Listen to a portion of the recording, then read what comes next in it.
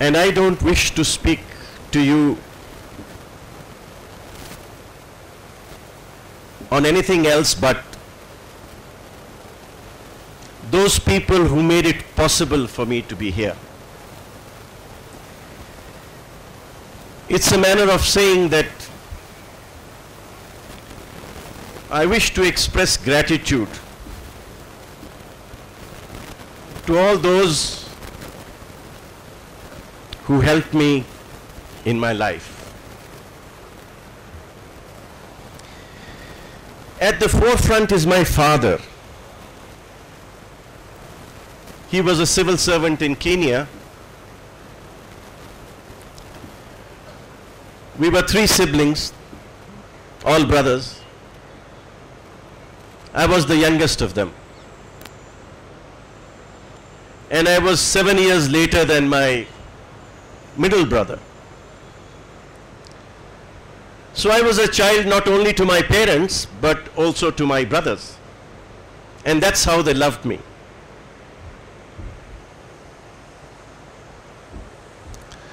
I'm sure my father must be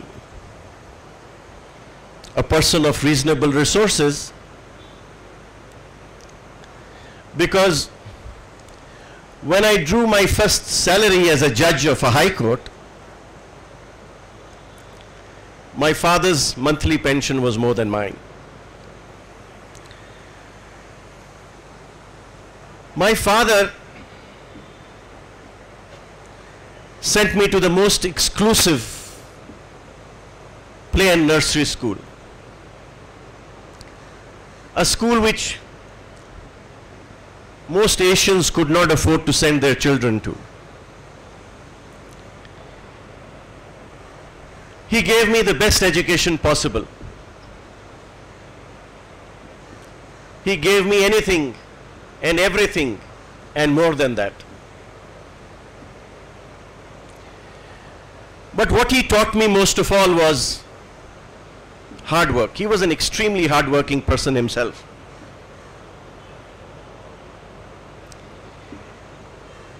He taught me perseverance and resolve. That's what he taught me. And with all that he taught me, he also brought in a very unique sense of acceptance. An acceptance to bear a situation where I'd worked very and hard and extremely well, but had failed. He, he, he taught me to accept failure.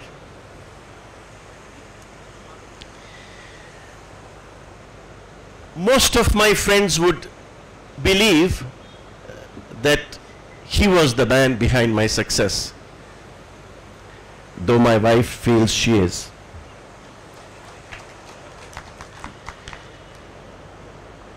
He passed in 2007. I've missed him. My sincere gratitude and thanks to him for all he did for me. My mother is really a darling. I live in her house. We celebrated her 95th birthday last month. My mother has worried for me to no end. She is, insists on providing for me more than what I really need. And the whole family, my children, my brothers, my grandchildren, are really jealous of our relationship. They also love her so much, but they don't understand why she loves me more than them. And I would believe that it must be from some past life and our relationships then that we bond so strongly to each other. My mother is an embodiment of sacrifice. She is an embodiment of compassion. I wish these could travel by genes, but they don't. So I don't believe I imbibed much of that. But I feel beholden to her. Most of all, for praying for me all the time and showering her blessings absolutely incessantly. She got me success over all odds and also in the face of extreme adversity. She got me over all tantras and mantras. Dear mother, I thank you for all that. My wife Madhur Preet and my three boys Tarunveer, Karanveer and Birender are all outstanding members of my family. They have been tremendous and I'm really proud of them. They have supported me. They have stood by me through all odds. When my elder son, our firstborn Karan Tarunveer, wished to practice law at that time, I was a judge in Chandigarh. He had therefore to move to practice in Delhi. He lived alone in great hardship. The other two children, Karanveer and Birinder, Birinder is Birinder with a B, not Virinder with a V. When they wished to join the profession, I was a judge in Delhi. So perforce they had to move to Chandigarh. They also suffered hardship. They also lived in rented accommodations to start with. In their presence here today, I would leave it at that and say no more, but only to tell them that if they suffered on my account, they would have become fitter to face life better. I would also like to thank the land of my birth, Kenya, for all that it gave me. Most importantly, gave me a wonderful childhood. I did all my primary education in Kenya. Besides my culture and the cultural roots of India, I believe that my teachers in Kenya were responsible for founding and laying down the foundation of my character and values. I was introduced to debating by one of my teachers, possibly in class 3 and 4, Mrs. Balbir Kaur. A year or so later, I was asked to stand in front of a class, a geography class, by a teacher A.S. Gill, who had given us a lesson to learn at home and he wanted me to narrate that lesson in class in front of the class. I'm grateful to, to them. This is possibly what took away all stage fear for me from the life that was to follow. I place on record my gratitude and my greatest sense of appreciation to the country of my birth, Kenya. After the family migrated to India, there was turmoil in my academic life. The standard of education in Kenya was far, far inferior to the standard of education in India. And I feel my teachers were responsible for refurbishing my academic profile. And in that, I would place one of my teachers, Sardar Bhupinder Singh, who was my mathematics teacher, at the forefront, who spared no endeavor to bring me from zero, what he told my father, your, your son is zero, he says, to right to the top. During my later academic years, early academic years in college and later on in law college, I had very close relationships with my teachers who guided me and monitored me and mentored me and I am grateful to all of them. I am still in contact with them and I thank them all for what they infused into me to make a good citizen in this country. Then came advocacy. Advocacy was challenging and enjoyable. But when God wishes you to succeed, you really do. And that's what happened. I really did. During my judge days, I was guided by senior and junior judges. I wanted to be right. I listened to advice. I went for advice. I remember during my tenure as a senior judge at Chandigarh, a roster was given to me of which I didn't know anything at all. And I went to a judge who had been elevated from the trial court to understand how to write that judgment in that field. So my extreme gratitude and uh, I acknowledge all that support that I got from my colleagues, senior and junior judges.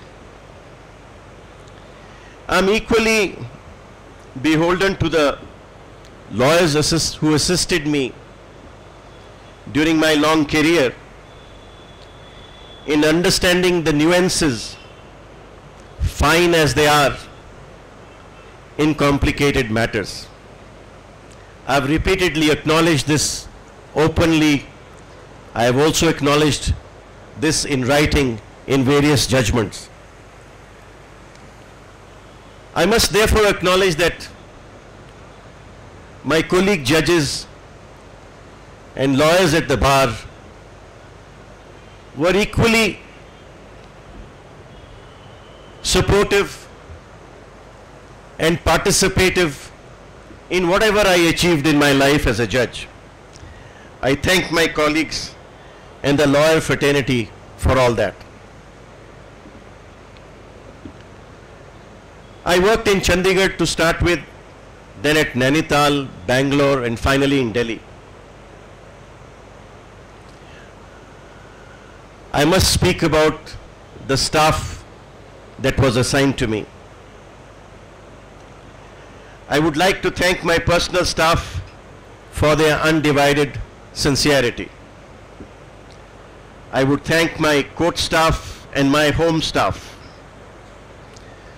I will always remember them and I will miss them. I reposed absolute trust in them. And I can say they never, never, and never let me down.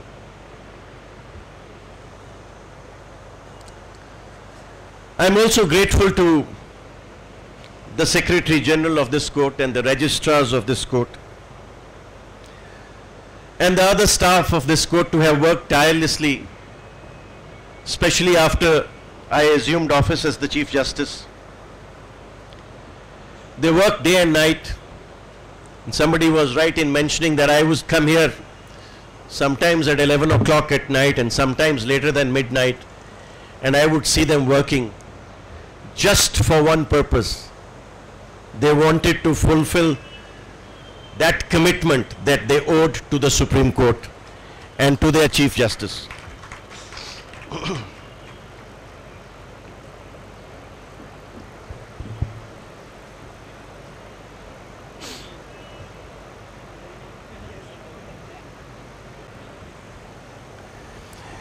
So it's tripping because of the rains. I would like to thank my country, my beloved motherland,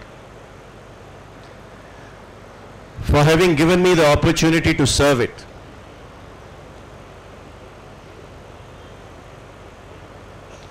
It allowed me to serve it at its highest judicial office. All of me is what my country allowed me to be.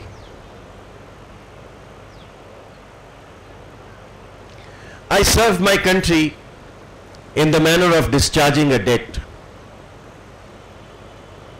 And I feel that it's difficult to ever discharge a debt to your country. it's something like you can never discharge a debt to your parents. Likewise, I feel it's impossible to discharge a debt that you owe to your country. All I can say is, I worked with a clear conscience in response to the confidence reposed in me. But finally, my extreme gratitude to God. Most of the people who belong to my generation feel this is that this is the worst generation to be born in. I feel it's the best. I remember my father's government house. Its number was 246. The road was Forest Road in Nairobi, the capital of Kenya. It was no smaller than the house that I live in presently. That house is still there in Nairobi. I mentioned number 246 for another reason. I was a little child when we got our first telephone, landline. The number was just like the house 24671. It was a joy. Telephone was joyous. Nobody had known of a telephone before. I enjoyed that joy. Then a few years later, we got black and white TV. Another sense of amazement. Nobody had known a TV before. We'd had two, three hours of TV in the evening, most of them Western serials. A great joy, which I enjoyed. And then came the mobile phone. I mean, I remember buying a Siemens tin, a huge thing, in the beginning of my profession or somewhere in the middle of the profession. And what a joyous thing it was to have a mobile phone with you and go anywhere with it. And then came computers, which changed it all. And a, a matter of amazement which you went through because it came when you experienced it. And then the software. I remember uh, working over reports hours and hours right into the middle of the night till we got this SCC online and you could then beat any of the seniors. I could have done it to any of you. but that was the amazing part of being born in this generation to have experienced joy, joy of all this which children today don't experience. I thank God for all that. And I thank God to bring me from where I started to where I am today. I think I thank him most of all for I believe it is him alone and none else. Before I stop speaking to you, may I really express my gratitude to all of you for the, all the kind words that you have spoken for me. I must place on record my appreciation for the tremendous work the Supreme Court Bar Association has done during this last eight months. uh, we have not always been in agreement. But I tell you, they have worked hardest and they have pushed themselves farthest to get whatever they could get. They also overlooked a lot of my failings. When we ventured to introduce the paperless court system, they supported me solid. They didn't allow anybody to feel that the matter wasn't going right. They pushed it on and I hope that paperless court will not be a dream and will be a reality in the near future. As you bid me farewell, I too bid you farewell. I wish you all good health.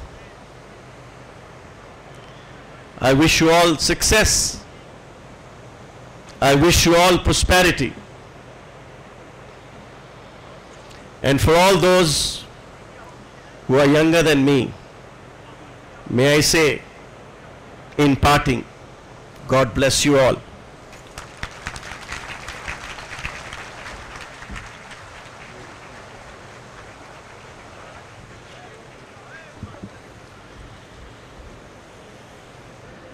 Thank you, sir.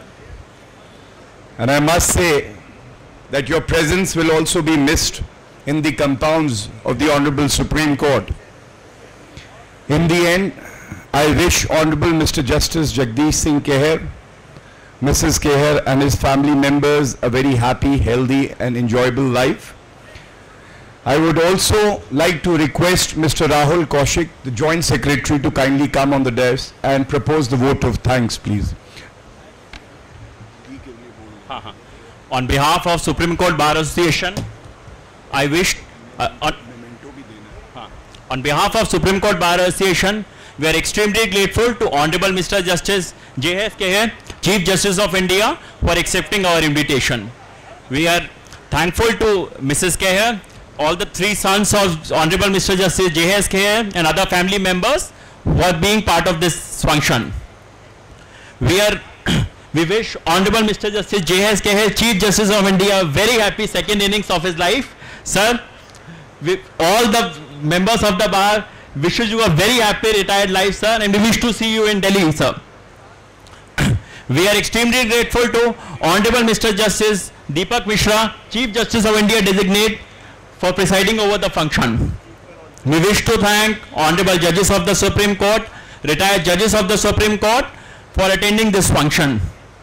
I wish to thank Learned Attorney General for India, Mr. K.K. Venugopal, other law officers, senior advocates and other members of the bar for being part of this function. And lastly, I wish to thank my members of the executive committee for all their efforts to make this function a success. Yeah, yeah. I, I will request Gaurav to just take. Yeah. In the end, as the tradition goes, there is always a message from the judge who demits office. I will read the message by Honorable Justice Jagdish Singh Khehar, short but very meaningful and sweet. The message goes, the legal profession is a service to mankind. The bar has a critical role in the judicial system. My message therefore is short and simple. Follow and defend the great traditions of advocacy. Serve while you earn. Serve while you earn.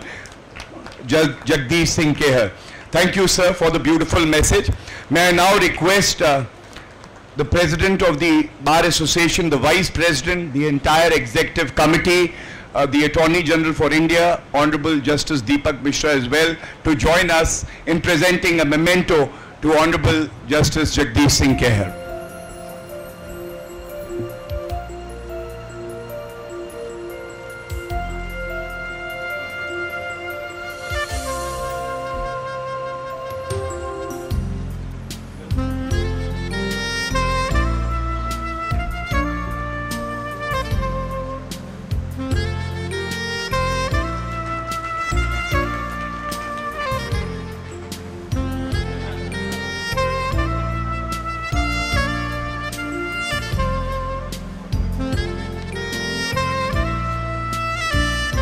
Thank you once again for being present. May I now request all the members to join us for tea. Thank you.